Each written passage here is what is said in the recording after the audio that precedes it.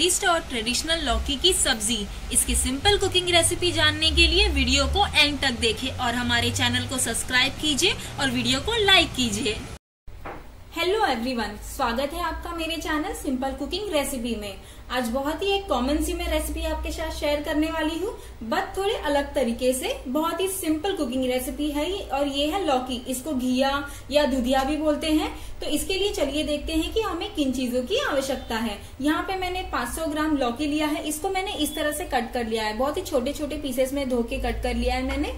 और इसके लिए सिर्फ़ हमें चाहिए यहाँ पे हमें ग्रीन चिली यूज़ नहीं करना है। हरी मिर्च की जगह हम लाल सूखी मिर्च यूज़ करेंगे। एक चम्मच जीरा लिया है मैंने, हल्दी लिया है एक चम्मच और 10 से 12 लहसुन की कलियाँ ली है जिन्हें हमें बारीक कट करके लेना है। और साथ ही हमें लेना है एक चुटकी हींग। तो चलिए वीडियो की शुरुआत करते हैं। सो so फ्रेंड्स मैंने यहाँ पे ऑलरेडी कढ़ाई में ऑयल गरम करने के लिए रख दिया था।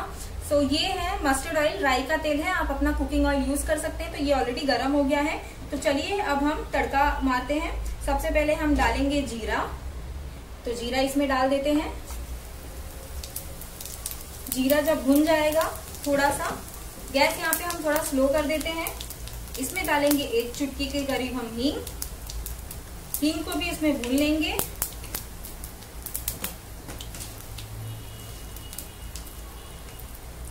गैस का जो फ्लेम है, यहाँ पे हमें स्लो ही रखना है।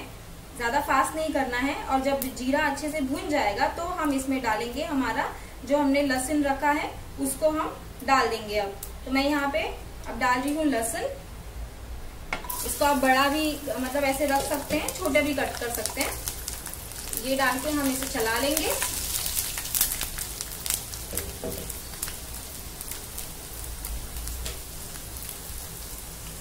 लहसुन हमारा ब्राउन हो गया अब हम इसमें डालेंगे जो हमारी सूखी मिर्चें हैं उसे।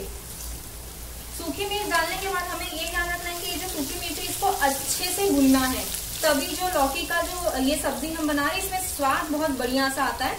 आप लोगों को लगेगा कि इसको पूरा जलाना है क्या? पूरा जलाना नहीं है लेकिन इसको अच्छी तरह से भूनना है।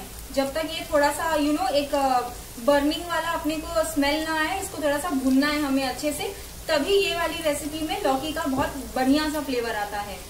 तो इसको हम अभी भून लेंगे। देखिए जिस तरह से मैं भून रही हूँ। गैस का फ्लेम मैं मीडियम कर रही हूँ यहाँ पर। अभी आप देखेंगे कि मिर्ची का जो कलर है वो पूरा अच्छे से चेंज हो गया है। तो ये स्टेज पे हम क्या करेंगे? हम डालेंगे जो हमने लौकी को कट करके रखा है, वो वो डाल देंगे। मैंने यहाँ पे गैस को स्लो कर दिया है और अभी मैं इसमें लौकी डाल रही हूँ। ये रेसिपी बहुत ही बढ़िया लगती है स्पेशली मेरी मॉम ये हमेशा बनाती थी। तो मुझे ये काफ़ी पसंद है बचपन से। तो इसलिए मैंने सोचा कि ये आपके साथ भी शेयर किया जाए। सूखी सब्ज़ी है, बनाने में ज़्यादा वक्त नहीं लगेगा, ज़्यादा मेहनत नहीं लगेगी। तो आप इसे झटपट बना सकते हैं। तो अभी इसको अच्छे से हमें चलाना है। चलान, इसको अच्छे से मिक्स करने के बाद गैस हमें फास्ट करना है। फ्लेम जो है, हमें फास्ट करना है। और ताकि जो इसका, लौकी का जो पानी है वो थोड़ा सा निकल के सूखने लगे। तो हम इसको पास कर देंगे। और अभी हम इसमें हल्दी ऊपर से डाल देंगे। आप ऑयल में भी हल्दी डाल डाल सकते हैं बट वो जल जाता है, इसलिए मैं इसको ऊपर ही ऐसे प्रीफर करके बाद में ये अच्छे से पूरी तरह सारी सब्जियों में मिक्स हो जाता है। तो अभी ये अच्छे से हम चला लेंगे। इस तरह से पूरा चला लीजिए।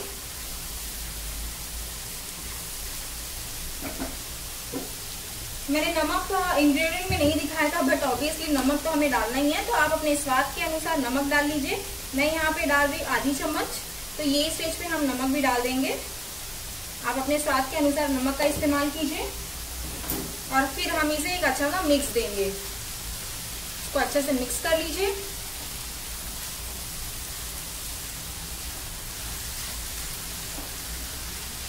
इस तरह से मिक्स करने के बाद हम हाई फ्लेम पे ही इसको दो मिनट के लिए ढककर रख देंगे। फ्रेंड्स दो मिनट हो गए हैं तो अभी हम चेक कर लेते हैं। आप देख सकते हैं स्टीम अच्छे से इसमें जनरेट हुई है। अभी इसको हम मिक्स करेंगे अच्छे से। अच्छी तरह से मिक्स कीजिए। और अब हम क्या करेंगे? अब हम ये स्टेज पे गैस स्लो करेंगे। इसको स्लो पे अभी हम सिम होने देंगे पकने के लिए रख देंगे। बीच बीच में इसको चलाते रहना बहुत ज़रूरी है। सूखी सब्ज़ियाँ जल्दी से पकड़ लेती हैं तो इसे हमें ध्यान रखना है कि हम टाइम टू टाइम इसको चलाते रहें। So friends almost ten minutes मैंने इसको स्लो uh, फ्लेम पे रखा है। एंड इस बीच में मैंने इसको around four to five time मैंने इसको चलाया है। तो अभी आप ये देख सकते हैं कि पूरी स्टीम जनरेट हुई है। एंड ऑयल पूरा सेपरेट हो चुका है। इसको अच्छे से मिक्स कीजिए। तो देखते हैं कि ये कुक हो गया है या नहीं पूरा। ये ऑलमोस्ट डन है गाइस सी अगर मैं आपको यहाँ पे दिखाऊँ तो ये देखिए, ये आराम से दब जा रहा है। हो गया है ये। इसको ज़्यादा नहीं, सिर्फ़ एक दो मिनट और हम कुक करेंगे स्लो फ्लेम पे इसी तरह। सो so फ्रेंड्स एक दो से तीन मिनट मैंने इसे और रख दिया है एंड अभी हम चेक कर लेते हैं। तो ये पूरी तरह से कुक हो गया है। अगर आपको ऐसा लग रहा है कि इसमें ऑयल ज़्यादा है तो आप स्टार्टिंग में ही ऑयल कम कर दीजिए बट ये पकने के बाद पूरी तरह ऑयल इस तरह से सेपरेट हो चुका है। आप ऑयल भी अपने अकॉर्डिंगली यूज़ कर सकते हैं। तो ये कम्प्लीटली कुक हो गया है। तो अब हम इसे प्लेट में निकाल लेते हैं। तो ये बहुत ही यमी सिंपल सी रेसिपी लौकी की हमारी तैयार है।